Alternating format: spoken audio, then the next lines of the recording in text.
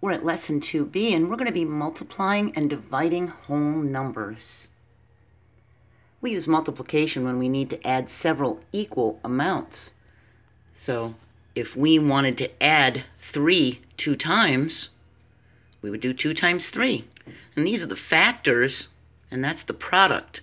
These are the factors of 6. They're also called multiplicands, but I don't want you to worry about that. I want you to think of them as factors, okay? That's going to help you more. And we can multiply numbers that have many digits by regrouping, just as we did with addition. We start at the ones place and multiply each digit. We regroup. It used to be called carryover back in the day. We do this when we have to. So we do 5 times 5, well that's 25. So because we can't write a 25 here, we regroup the 2 and put the 5 down. Now we go here, 5 times 3 is 15, and we remember to add the 2. So we have 15, 16, 17. We carry that 1 and put the 7 down. Now we do 5 times 2, which is 10, plus 1 more is 11. So we have 1,175. Okay? So just remember, it's like a fan. You're starting in the ones place and slowly fanning out to the larger place values. Okay? So let's try this.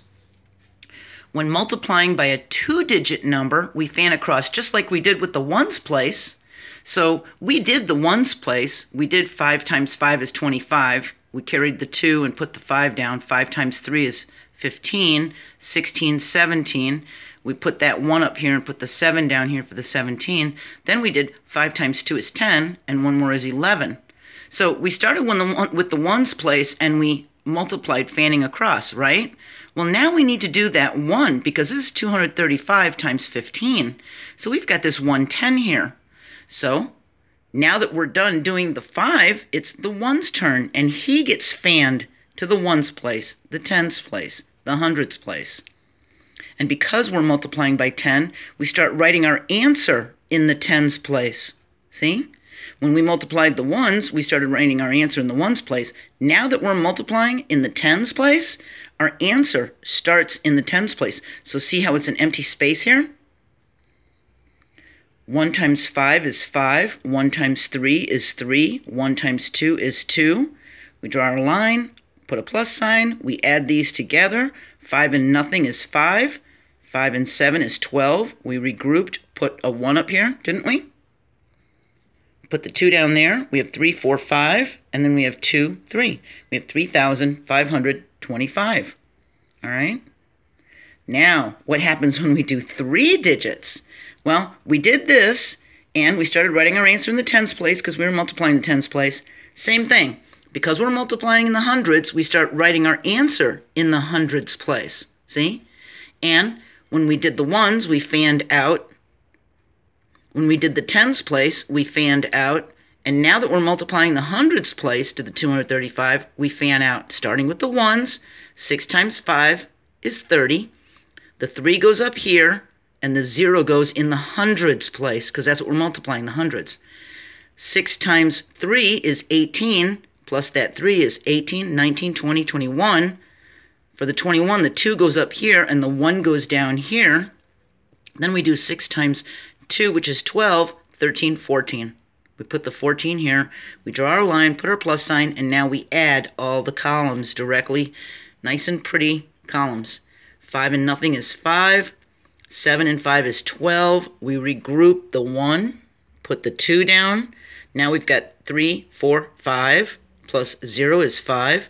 Then we've got 1 plus 2 plus 1, that's a 4, and we drop this 1 and this 4 down. We put in our comma. We have 144,525. So just remember when you're multiplying these, you start with the ones place and fan to each digit, ones, tens, hundreds. Then you move to the tens place, and that's where the answer is going to start being written in the tens place. And you fan one, tens, hundreds in order. When you do the third digit for the hundreds place, that's where the answer starts because you're multiplying hundreds. So these are left blank and you do ones, tens, hundreds. Just ones, tens, hundreds, ones, tens, hundreds, okay? All right. We use division when we need to separate a whole thing into equal parts. You have a candy bar and you have two friends. You want to split it into three equal parts, right? You want to be fair? So here we have 6 divided by 3 equals 2. This 6 is the dividend, and that 3 is the divisor. All right, so the big number is the dividend. The number it's being divided by is the divisor. And the answer is the quotient. And division is the inverse operation for multiplication. That means it's the opposite. So if you look, we have 2 times 3 equals 6, and I can go 6 times 3, 6 divided by 3 equals 2. See? I can flip it around. They're just in the other order. We went this way, 2 times 3 equals 6, and now we're going this way, 6 divided by 3 equals 2. We're just flipping the signs, see? So remember, to undo multiplication, you can use division. And to undo division, you can use multiplication. And you can use them to check the answers. You can check a division problem's quotient by doing multiplication. And you can check multiplication by doing division. It's just like addition and subtraction are opposites. They're inverse operations. All right. So here we've got our dividend inside of our bracket here. And actually, I bet you didn't know this, this is two different signs. This is two different signs. It's actually part of a parentheses and a fraction bar. But they're just so close together you don't see it. Because division problem fractions are little division problems and division problems are actually fractions. If I went like this, you could see. See that? 2 sixths. So they're actually little division problems. So this is actually two signs put together to look like a long division sign. Isn't that cool? So the dividend, the big number, goes inside. The number it's being divided by is on the outside. So see how for this one, this was first, and now it's on the inside. So you have to remember that, okay? So if we want to divide 248 by 8, we ask ourselves, can the 8 fit into the 2? Nope. Can it fit into the 24? Yes, three times. And then we do the multiplication. 3 times 8 is 24, and we subtract it. 24 minus 24 is 0, and now it's the 8's turn to come down. How many times can 8 fit into 8? 1. And 8 times 1 is 8. We do the subtraction, we get 0, there's no remainder. Our answer is 31.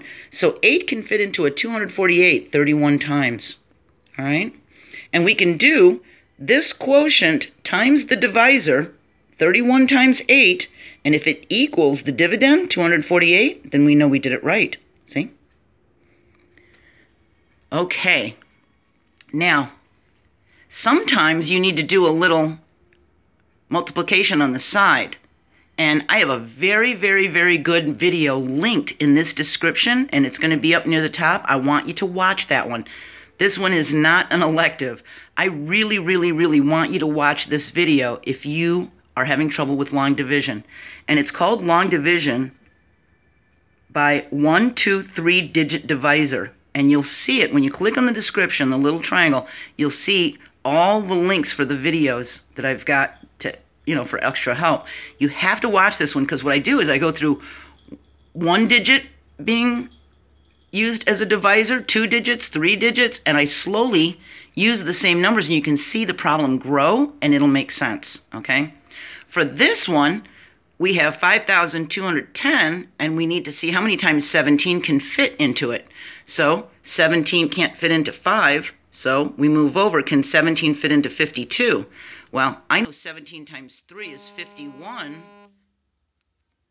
And I did that little math on the side, so I know that. So 17 times 3 is 51. We put the 3 up above the 2 because that's what the 17 is going into. It's not going in the 5, it's going in the 52. We do our subtraction, we get a 1, and now it's this one's turn to come down. So now we have an 11. See that? Right here.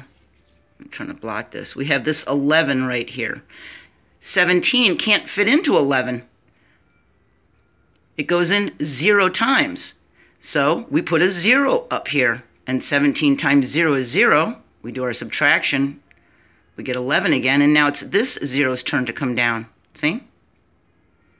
Can 17 fit into 110 and how many times? Well, I know that 17 times 6 is 102. So we put a 6 up here. We do the multiplication as 102. We subtract. We get 8 left over. So we have a remainder of 8. All right? And it can be written as a fraction. So you need to watch that video, okay? It's called Long Division by 1, 2, 3 digit divisor, and it's in this description. All right? Again, for this one, we have three digits. 213 cannot fit into 1 or 12 or 121. So now we've got to try to put it into 1,214.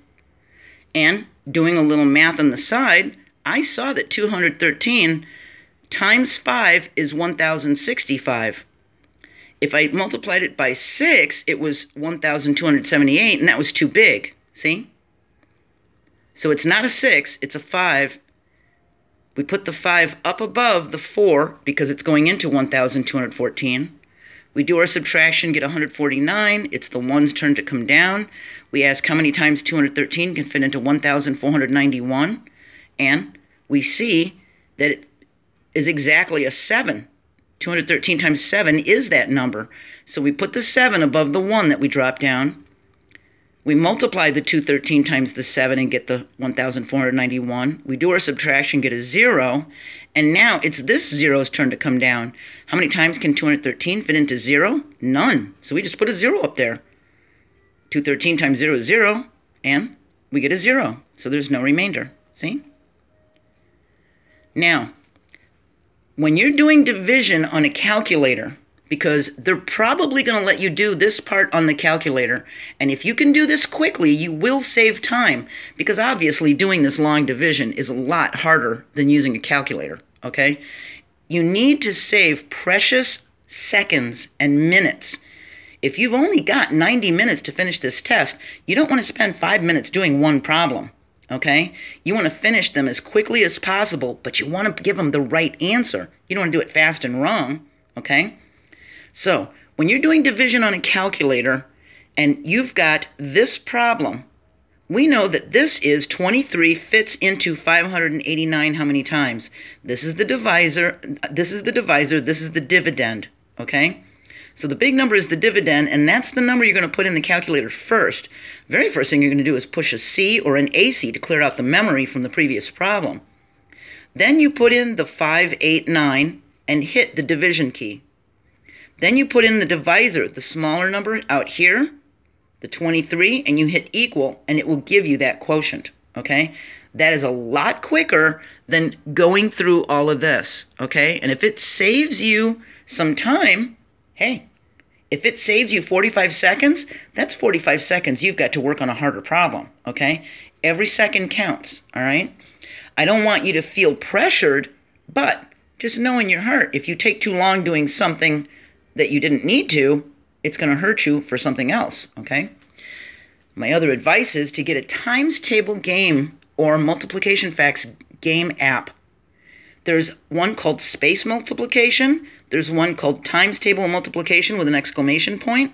Just if you find a good multiplication tables or multiplication facts app, write it in the comments for this video to let people know, hey, I found one and you can play it in your downtime. When you don't have anything to do and you're standing around and you're on the bus or whatever, you're at lunch, you could play the times table game. And what that's going to do is it's going to help you go faster when you take this test. All right? You don't want to have to worry, oh, what's six times seven? I forgot. Get an app, start practicing. Okay? That way, you'll save yourself some precious minutes. All right? So now you should be ready to do the GED skill focus on page 45. And just remember that on a calculator, we enter the digits in the same order as in the equation, and that sometimes mental math is faster than a calculator. So if we saw a division problem, not written long division like this, but if we saw it written like this, this is exactly how we would put it in. We'd put in the 6, then the division sign, then the 3, then the equals, and we'd get our quotient. All right? It's just when it's in a long division form that you want to make sure you put the inside number in first, okay? You put this in first, then you hit the division button, then you put in 23 and then equal, okay? If any of this is way too confusing for you, if we're starting to get way ahead, I want you to take a step back and I want you to watch my grade level playlists. We are now getting into fifth and sixth grade math.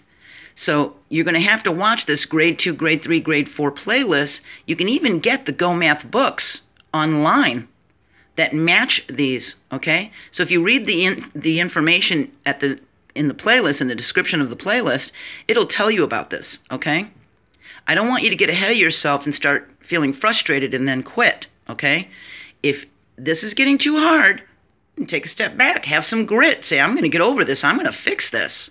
I'm not going to quit. All right. So, our next video is step by step problem solving. It's 2C. And there's going to be links for these videos in the description. There's going to be these grade 5 math videos that talk about multiplication in two and three digits and division with two and three digit divisors. But this is the biggie. If you understand the multiplication and you're just stuck with the long division, watch this video. Watch it twice, whatever. But this one's going to help you, okay? And it'll just one click away, all right? And don't worry about when it says grade 5 or grade 3 or whatever, because right now, I'm making this video at the end of 2017, and kids are now doing math anywhere from two to four years ahead of the kids that did it 10, 20 years ago. They're doing algebra in third grade, okay? They're starting to use variables in third grade. So they're trying to push math because our country is so far behind. So don't worry about what it says for grade level because when you were in school, it was a different grade level, okay? This is just what it looks like now. So don't worry about it. It's just a number. If that's the video that's going to help you, watch it, okay? All right, I'll see you next video and we'll talk about step-by-step -step problem solving. Bye.